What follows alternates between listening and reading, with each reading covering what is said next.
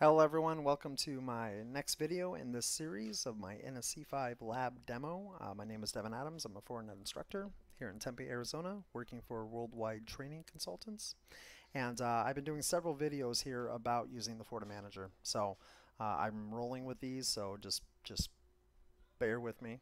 Alright, a little impromptu video session here. But in our last video, we were able to clone the initial policy package on the local FortiGates Use dynamic mapping to map different physical interfaces on the remote FortiGates and also different objects. So local LAN over here is going to be a 10.10.20.0 subnets and local LAN over here is going to be 10.10.20.10.0 over here all right? And that's how we can have a single policy be pushed down between the FortiGates now uh, this will probably be the last video I do today. I did a lot of them so um, I'm doing this for a participant of mine uh, that took my, my course so shout out to Thomas if he's watching it. So just wanted to get these done for him to kind of review things.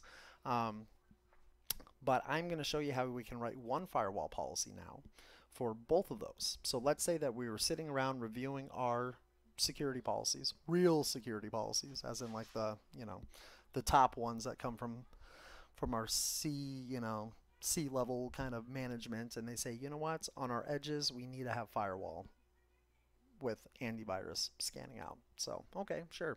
So now we are tasked to essentially put scanning on all of our FortiGates across the board to do antivirus.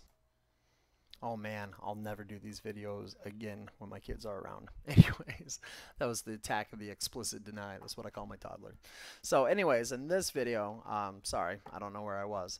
Uh, we're going to write one firewall policy that will scan traffic on the interface on the WAN interfaces for, for both of them. So uh, we've been tasked with this, like I said, and if we weren't using a FortiManager, that would be a lot of work all right? Even to you know individually connect all of them and, and do scripting would be a lot of work. So let's do it in the FortiManager that's our goal. So all right let's go ahead and go back to our Windows PC all right? As you can see we're all in sync here. There's the policy packages but now we're going to create one policy package to rule them all. So um, I'm going to go to my policy and objects. All right? And I am going to clone this again because they're essentially identical. We didn't really need to do two of them. I was just showing you that you can have a policy package for your FortiGates.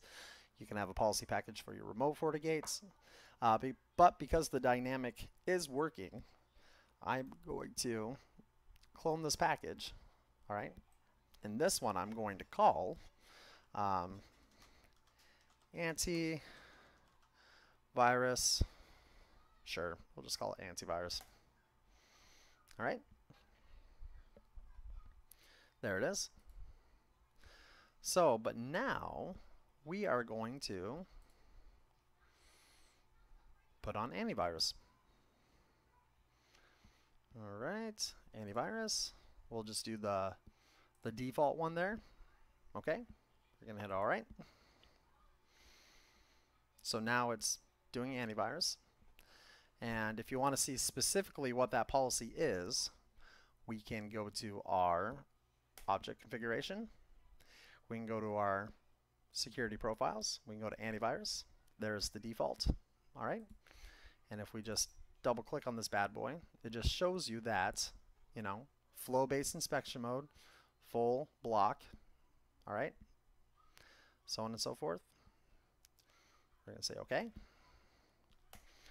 And also, if you guys are in here and you don't see an option that you want or you don't see an option, a lot of the uh, objects and the objects configurations are hidden. You're going to have to go to Tools, you're going to have to go to Display Options and pick the ones that you're not seeing.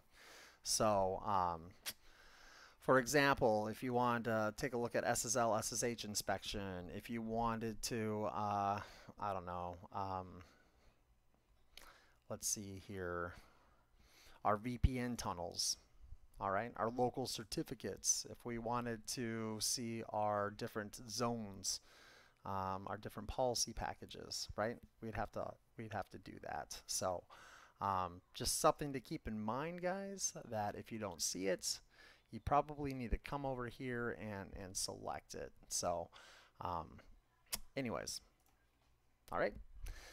Now let's go ahead and write that policy. So let's go to device manager. Oh, pff, device manager.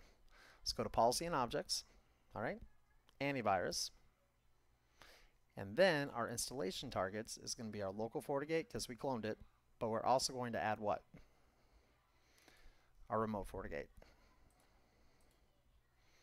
Okay. And yes, that was right. You guys could pick both of them saying managed FortiGate, meaning all the FortiGates that are managed, but we'll just do it individually. Okay, so, and uh, yeah, let's go ahead and install it. So let's go to install, install wizard, antivirus, we're gonna hit next. Yep.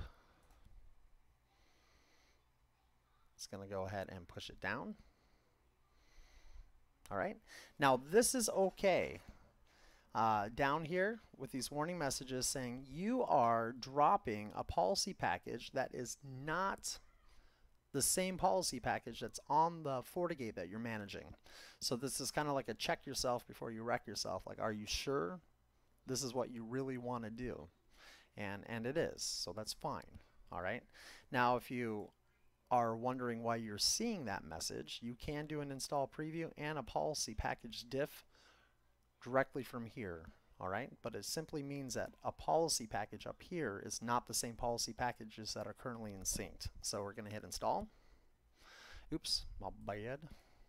Bloop. We're going to hit install because that's what we want. And then it'll push them down. And then once again, it'll take a moment for that to actually take place. So uh, while that is working though, I am going to come here and I'm going to go to that uh, EICAR test file because I believe it will pick this up even without a license. I could be wrong. We'll see if we get a virus. so, all right. Uh, we definitely do not want the secure site. Maybe there's an option for that a little bit later, but because um, we didn't do deep inspection. But let's go ahead and download the, the test file. Okay, they went ahead and did it in the clear. So, all right, download. And here we go, a couple of, of viruses for us. So, but let's wait till that actually goes through. So, hey, look at that. It says that it, it went through. Good times. All right. Uh, let's go back to our uh, device manager. Everything's in sync. We now have the antivirus package being applied. Okay. And let's download a virus. So, um, as you can see, Antivirus has been applied to the local FortiGates and also the remote FortiGate using one single firewall policy. Now, if we had 60 FortiGates, 100 FortiGates, 1,000 FortiGates, I actually don't know the limits. Remember, it is per license. this thing's licensed for 10. Anyways, um, this is way easier to provision those changes using the dynamic mappings. And that way we can get things done a lot more effectively and efficiently than just, you know, manually running scripts or logging into the GUI each and trying to figure it out. And that is really the heart and soul of the FortiManager. So I'm going to stop there. All right. So once again in this video, we took advantage of our dynamic mapping and we created an antivirus uh, um, security, you know, profile, and we applied it on our FortiGates and, and it doesn't matter if it's 2 or 200. It pushes down those changes and it works fairly well. All right. Um, I probably should stop neglecting my kids for the day. So I'm going to make sure my house hasn't been burnt down. Um, but other than that, I'm going to kind of, I have a couple more days before my licenses expire in my GNS3 lab here. I'm just going to keep on pushing it to see what else we can do. Uh, maybe my next set of videos I will show provisioning templates and what those are. And I also want to show you guys how to take advantage of the FortiAnalyzer.